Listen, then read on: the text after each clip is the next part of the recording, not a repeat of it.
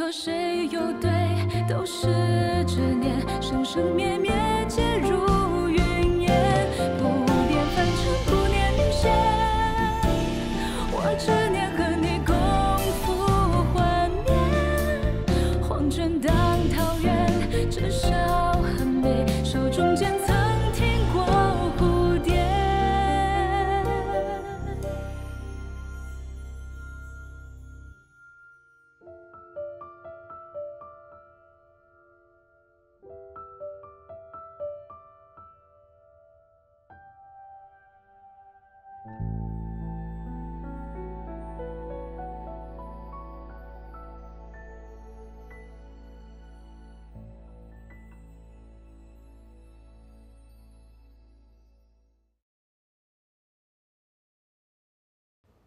不过你给我记住，别忘了你我之间的约定。只要大祭司依约行事，赤诚相待，理应自是尽力而为。如若不然，便是一损俱损之局了。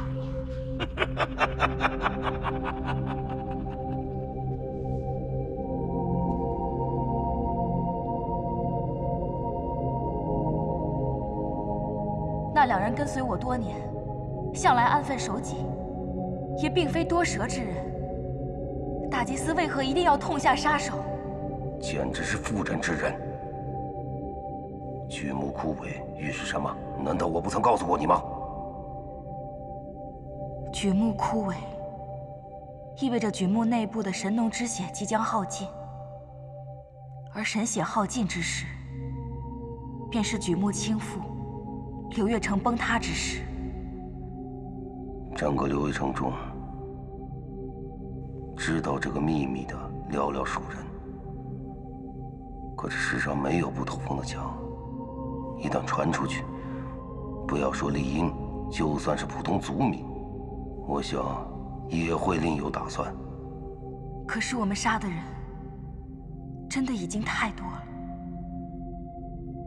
如果说一切都是为了猎山部，那他们难道就不是我们的族人？那你就应该好好想想，怎么才能让那些死了的人没有白白死。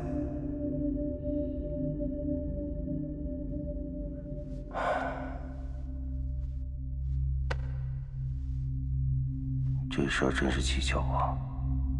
我思前想后，唯一的可能就是有人将榉木枯萎一事告诉了丽英。属下倒觉得未必。大祭司幻术虽高妙，却也不是全无破绽。丽英整日盘桓在寂静之间，有所觉察，也在情理之中。在所有事情还没搞清楚之前，咱们还需要小心提防。还有一事需要大祭司定夺。太阴祭司已没，该派谁来接手他在下界的事宜？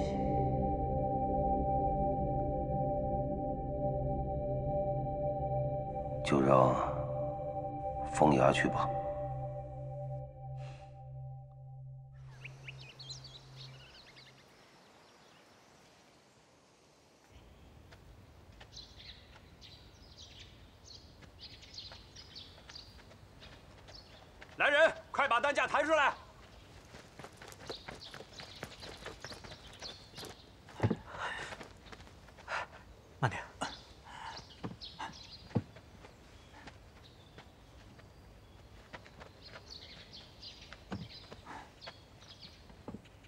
先带文人宇回房休息，没有我的允许，任何人不得相扰。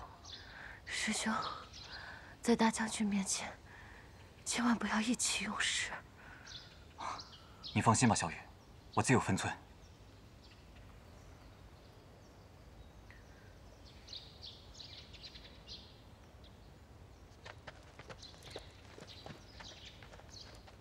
等一下，这位是？这是要与我一起面见大将军的人。岳兄，一会儿劳烦你跟我一起向大将军佐证。你的住处，我另有安排。你想都别想，我绝不会离开文人半步。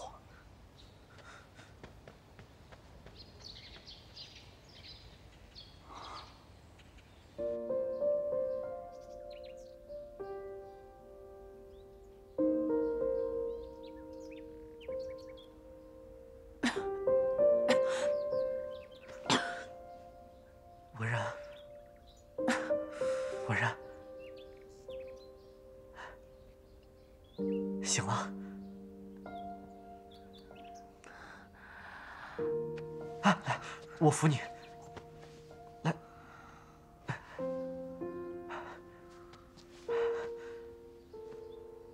我去给你倒碗水啊。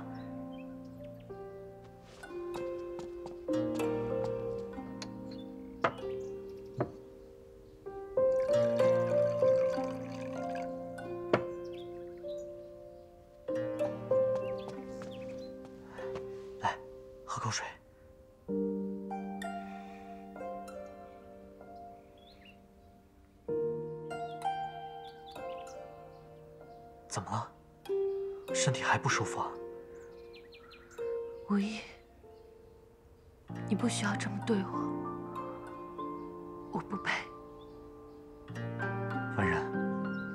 不许你这么说。你现在只需要恢复健康，什么事情都不用担心。不管是上天还是入地，我一定要治好你。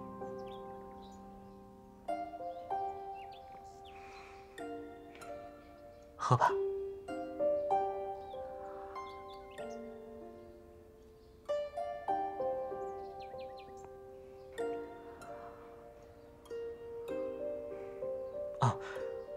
去给你熬一些汤药，啊！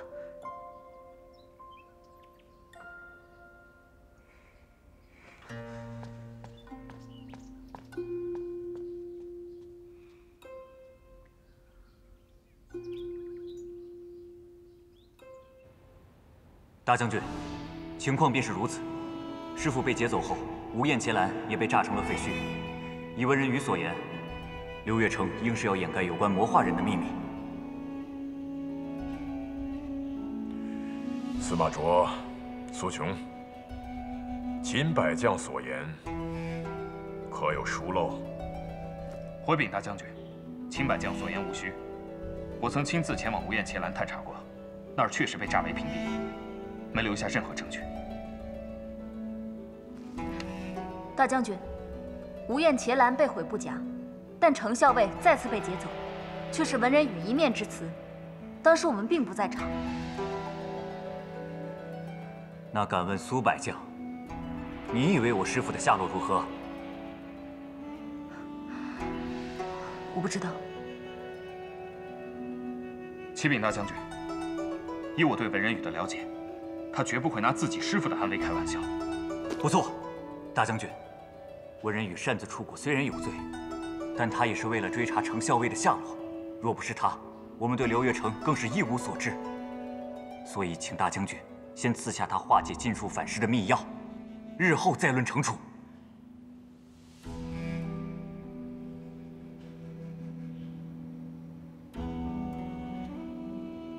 请大将军恩准。我看就没这个必要了吧。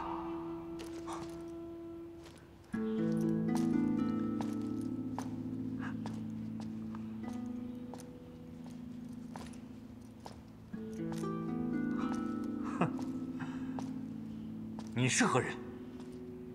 啊，见过大将军。这据我所知，按天罡军规，凡是百将级别以下天罡，不得擅自出谷，否则处以军杖五十之刑。若屡召不回者，则当以逃兵之罪问斩。哎，我说的没错吧？秦百家，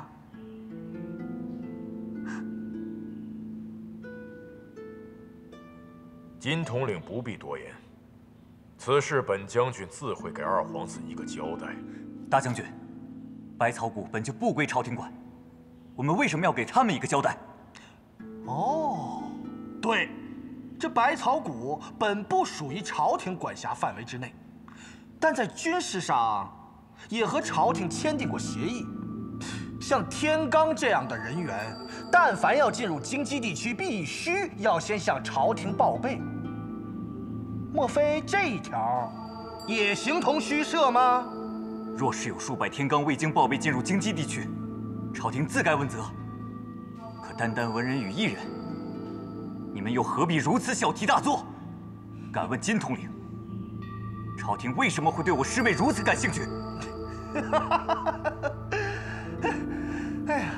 秦百将，您这个问题问的倒挺有趣的啊！莫非他一个人便不算违反军纪吗？你，哼！更何况大将军对此事已有决议。哎，秦百将，莫非您是要抗命不成啊？大将军，末将文人与擅自出谷，确实是违反了天罡的军规，之后屡次派人捉拿，更是抗命不回。秦百将，你就不要再替文人宇说情了。可是，好了，传我将令，收押文人宇，明日问斩。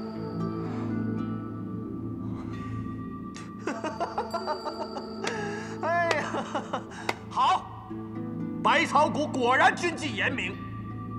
那待明日文人宇问斩后，在下自当返回长安，如实向二皇子禀报。呃，呃，那我就不打扰了，告辞。秦百将，走了。哎呀，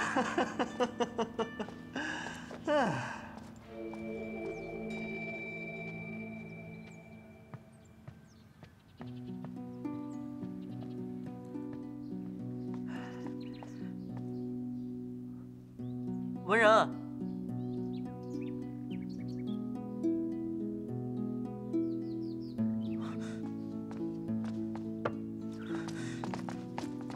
青阳，文人呢？我问你，文人呢？大将军命苏琼将小雨关押了，明日问斩。岳兄，你别拦我！你先别冲动好不好？在百草谷，没有人能违抗大将军的命令。青阳，是你说带文人回谷治伤，是你担保说他没事的，结果呢？可你现在把小雨带走又能怎样呢？这百草谷里里外外数千天罡，你根本冲不出去，你救不了小雨，你只会害死他。那你要我怎么办？眼睁睁的看着他被问斩吗？我请你相信我，我和小雨自幼一起长大，他和师傅就是我一生中最亲的人，我不会袖手旁观的。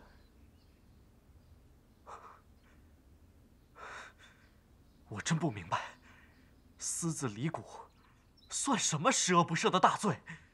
你们大将军为何要置他于死地啊？大将军也有他的苦衷。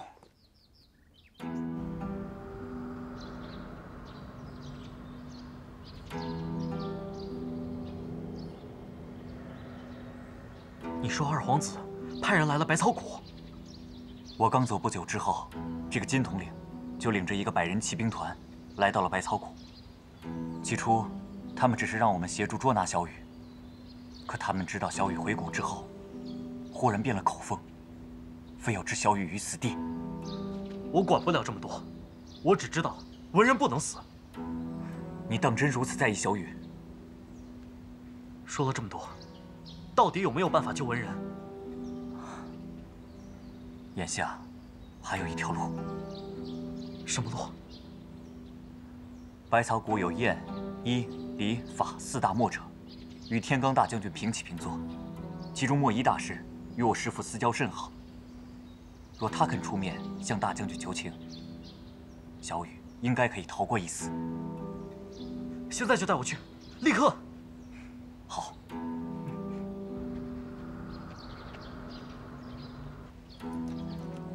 莫一大师的脾气有些古怪，一会儿不管发生任何事情，千万别惹他生气，记住了吗？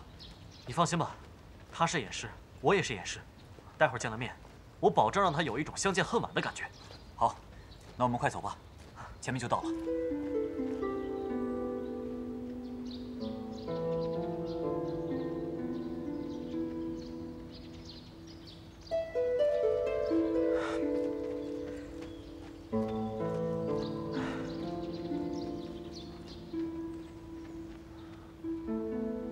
莫一大师，莫一大师，莫一大师，莫一大师，哎隔那么远喊，多没礼貌啊！哎，等，哎，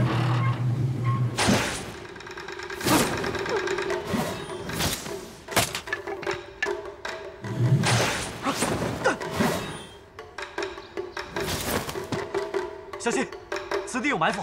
岳兄，你哎，此处都是偃甲机关，待我清除路障。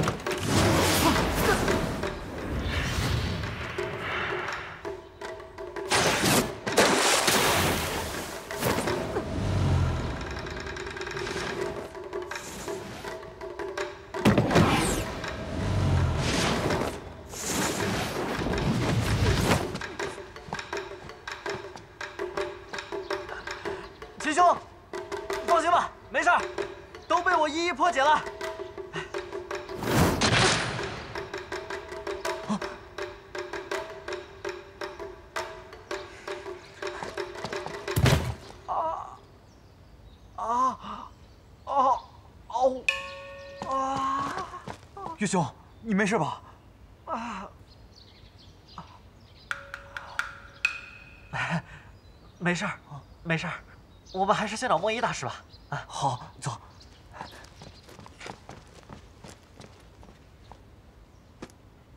莫一大师，秦阳求见。莫一大师，秦阳求见。莫一大师，秦阳求见。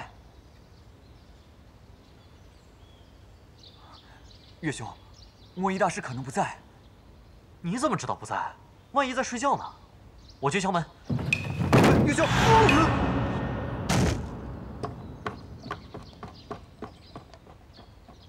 这什么呀？哎，你这小王八还挺狂啊！你给我站住！站住！哎哎，秦阳拜见莫一大师。啊这位就是莫一大师啊！拜见莫一大师。哎，哎，你们两个傻小子还愣着干什么呀？还不赶快帮我捉住这个严甲龟啊！啊，严甲龟？对呀，快去！好，我来。往哪儿跑？呀！哎！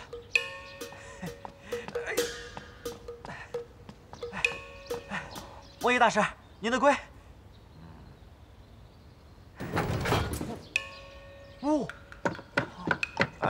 呜，还有翅膀。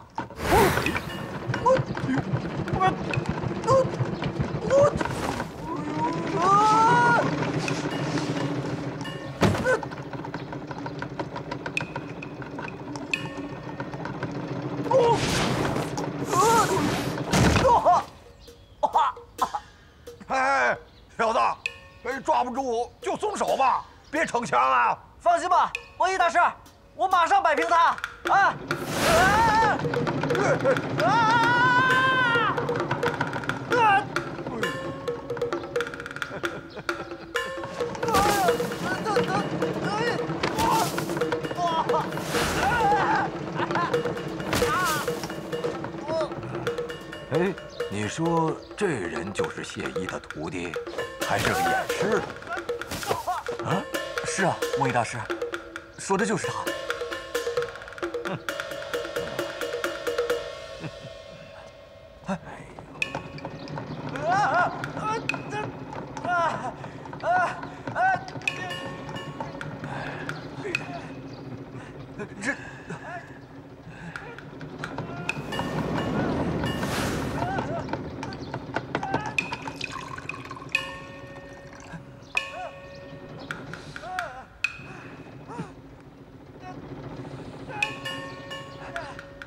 大师，这一只小小的岩甲龟，怎么如此彪悍呢？木鱼大师，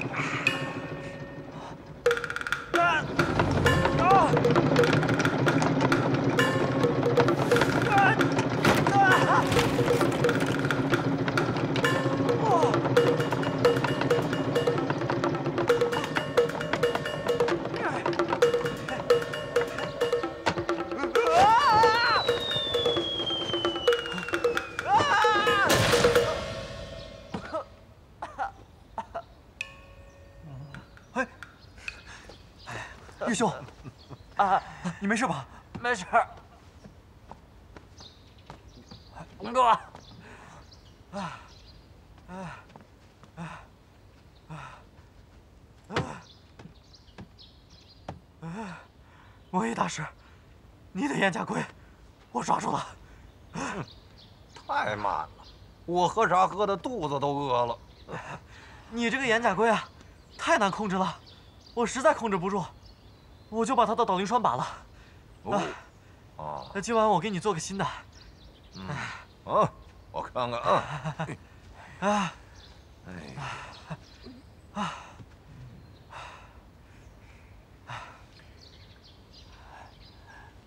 木易大师，今日我们到来，确实是有事相求，希望你向大将军求情，免去文人宇死罪。烦请大师。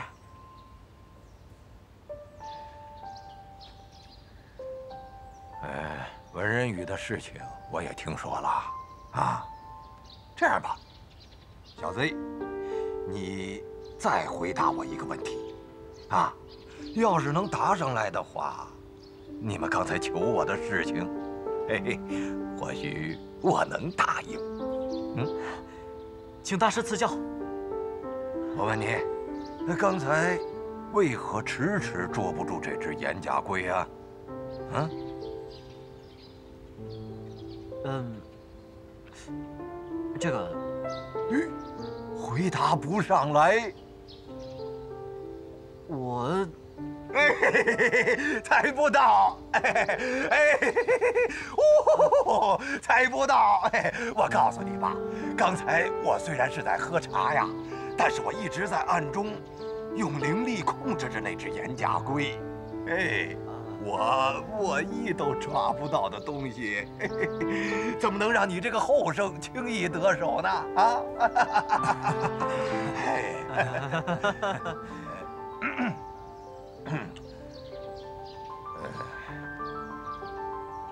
呃，我问你，谢一大师如今何在？家师已经不在了，被刘月成所害。什么？哎，原来如此啊！谢衣与我本是故交，二十多年前，他曾来百草谷发出警告，说不久将会有噬人心魂的妖术危害下界。唉，所谓妖术，难道就是刘月成？投放在朗德寨的曲目，嗯，应该就是这样。唉，无奈呀，当时谢衣身上带有魔气，百草谷中所有的人都不肯相信他所言之事啊。唉，可是师傅身上没有一丝一毫的魔气啊。嗯，嗯，谢衣身上确实染有魔气。百草谷中人人将他视为异类。直到数月前，这程校尉通过灌月木，偶然发现安阳风沙的真相，大家这才相信谢衣所言真实不虚呀。魔气？师傅身上怎么会有魔气啊？木易大师。文人宇为救师傅，私自出谷，如今危在旦夕。望您看在与家师多年的情分上，劝大将军网开一面。嗯，这个事情嘛，百草谷中自有规矩，哎，墨者不得干涉天罡内务，所以这个事情我不能插手，不能插手 哦。哎，莫易大师，你不能插手，哎，你这不是耍无赖吗？哎，我怎么耍无赖了？是你们提的要求难度太大了吗？这，哎呦，人命关天啊！您要是帮不上忙的话，也别拿我们开玩笑啊。嗯，你这臭小子，太没礼貌了吧？啊，莫易大师，您先别生气，确实是我们太着急了。可是，我们在这儿多耽误一时，小雨的危险就多一分呢。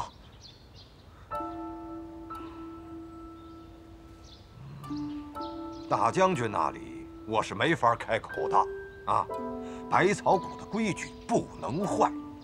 哎，但是我也没说我不帮忙啊。请大师相助。哎，这个元二大师又是谁？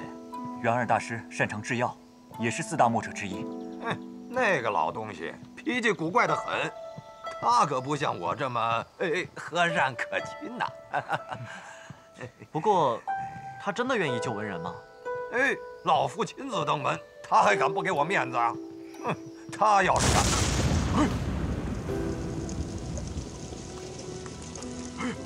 这老东西不要命了！我早说过，玩物丧志，玩药丧命啊！快去救人呐！快快快快！哎呦，老东西，月儿，月儿！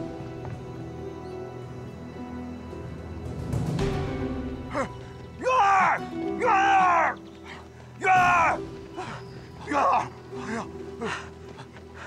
呀，你个老东西，月儿，月儿大师，没事吧？月儿大师。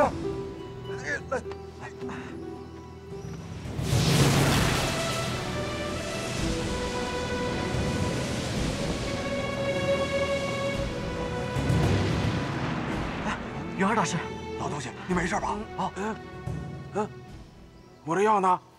我的药！哎呀呀，老东西，你不要命了？还要什么药啊？哎呀，老不死的，拦我干什么？那是我的宝贝。哎，你，你你慢慢慢慢慢，我们帮你找啊！哎，对对，来，别让他摔着啊！哎，老不死的，你不在家好好待着，来找我干什么？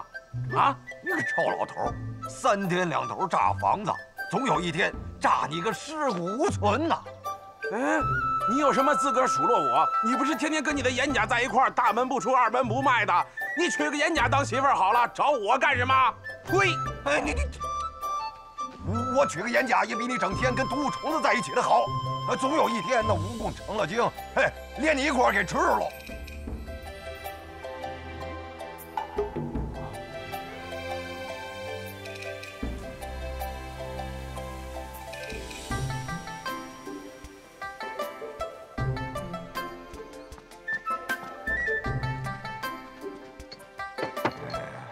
救出来了，啊！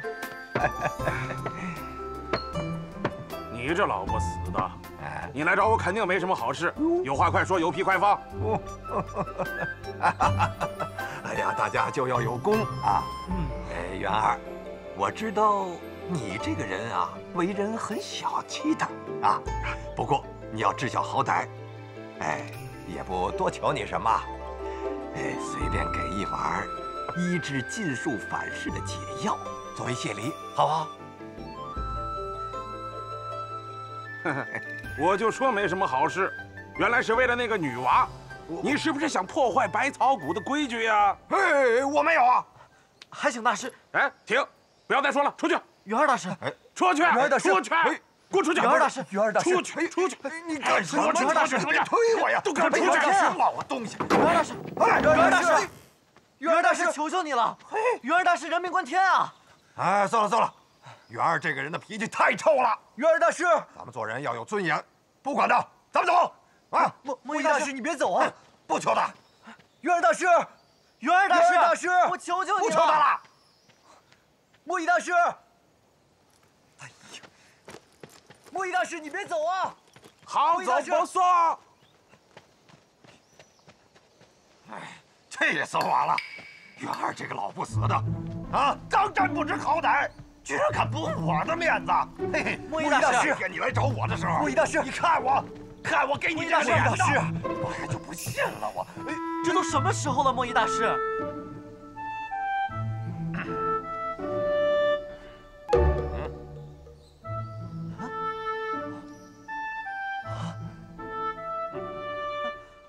大师，您是什么时候？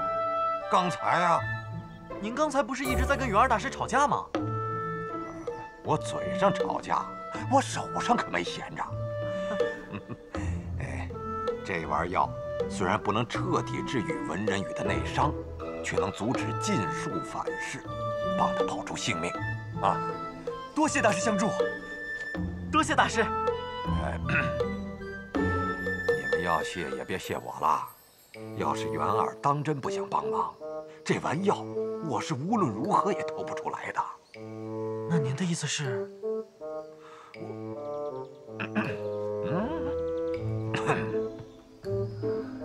哎，莫易大师。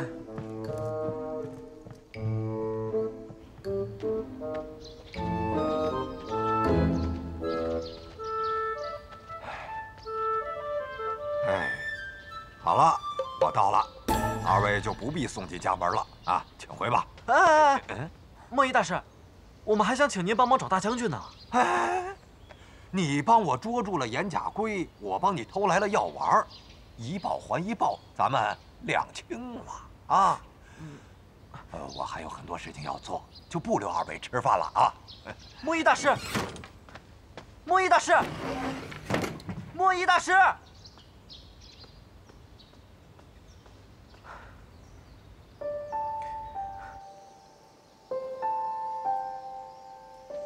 现在解药已经拿到手了，可是怎么交到文人手里是个问题。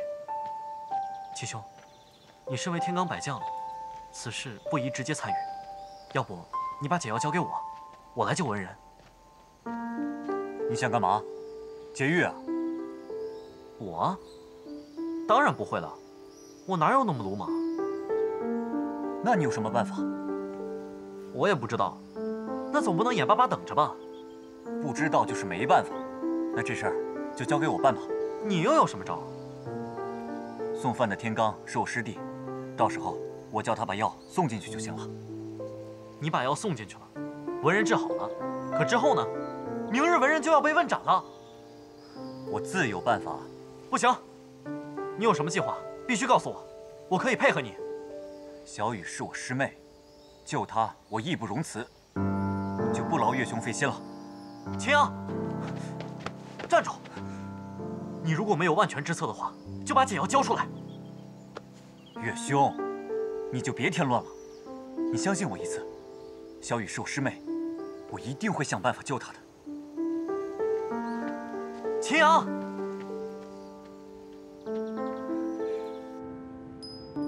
启禀二殿下，可是今生有消息来报？暂未收到金统领的书信。但是门外有一位长袍道长求见。明川上师，快，请他来书房。是。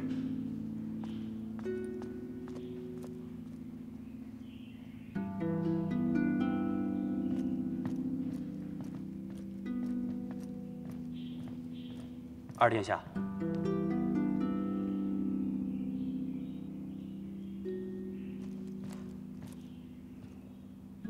是道人风牙，拜见二殿下。仙师到访，所为何事？我乃明川故友，受明川所托，特意前来拜访二殿下。哦，明川曾嘱咐我，要将此物亲手交由二殿下。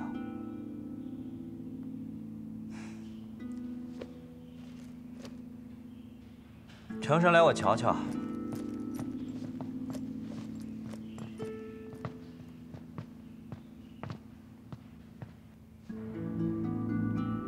此乃何物？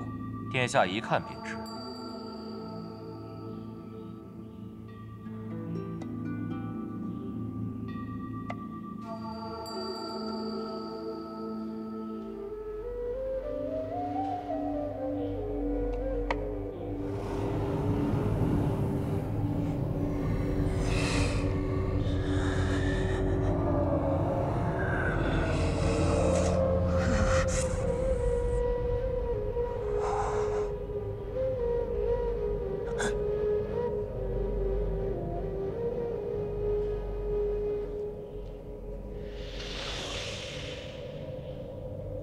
皮囊的味道甚好。这就是我送给你的两件礼物，你可还满意？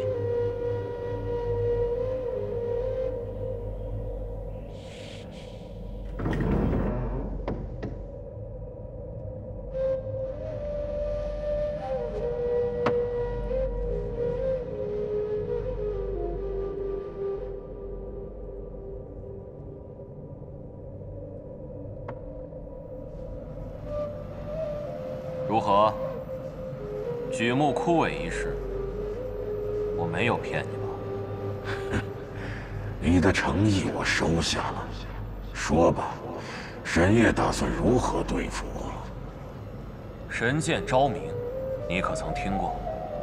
你是说那把能够斩断世间一切灵力连结的上古神剑？正是。传闻伏羲力战东海巨鳌时，昭明神剑便已崩裂，下落全无。难道沈夜已经获悉昭明碎片之所在？昭明线索被谢衣所获，如今经过种种机缘，线索就在他下界的那个徒儿身上。沈夜为了掩你耳目，便利用谢衣之徒带我，待他们找齐碎片。便一举夺下昭明神剑。哼，大祭司计划倒是周全。你可知那个谢衣之徒的下落？下界虽大，但是想找到他们，也并非什么难事。你若能为我除掉此人，令昭明神剑再无重现之日，我便助你登上大祭司之位，取神印而代之，如何？为表诚意，我再送你一份大礼。此人在下界很有权势，且目标与我们一致，都是谢衣之徒为眼中钉。若论权势，东胜的皇帝不是更合适的人选吗？东胜皇帝乃是开国之君，早些年南北征战，与各修仙门派交往甚密。你要想从他身上下手，恐怕不容易。但愿如你所言，这俊俏的皮囊能有几分价值。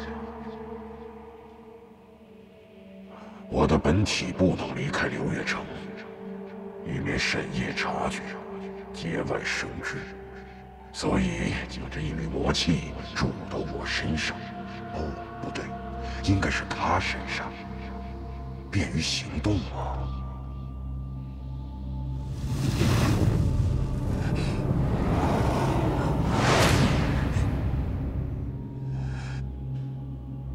二殿下，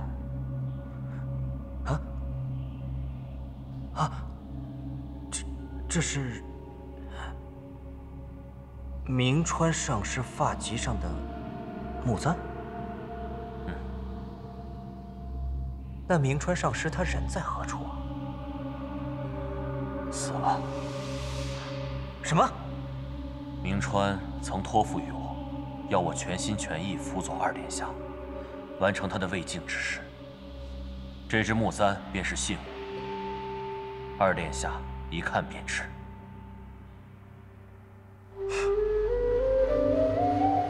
单凭这个信物。便让我相信于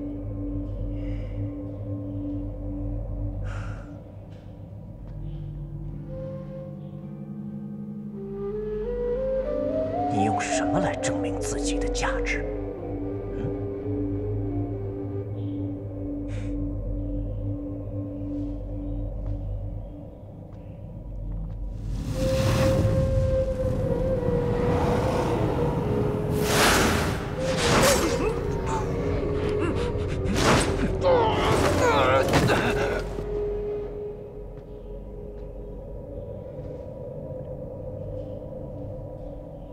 下，这招数可还熟悉啊？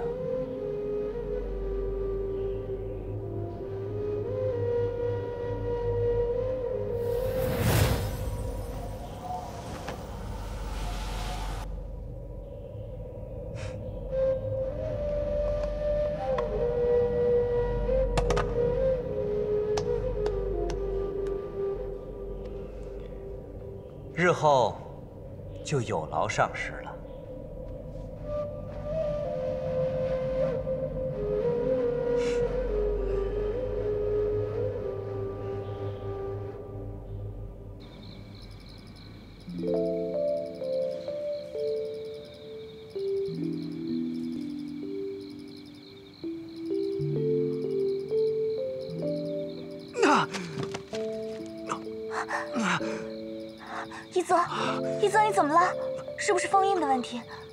就帮你重新修复封印，好不好？不，修复封印需要消耗自身修为，而阿软姑娘的灵力清澈无比，恐怕在下的妖力与姑娘有损。可是你这样下去会疼死的。可是姑娘，哎呀，没有什么可是不可是的，而且夷则得恢复人形，我们才好去找通天之气救回你娘亲啊。难道一则要以鲛人的模样去见你的皇帝老爹吗？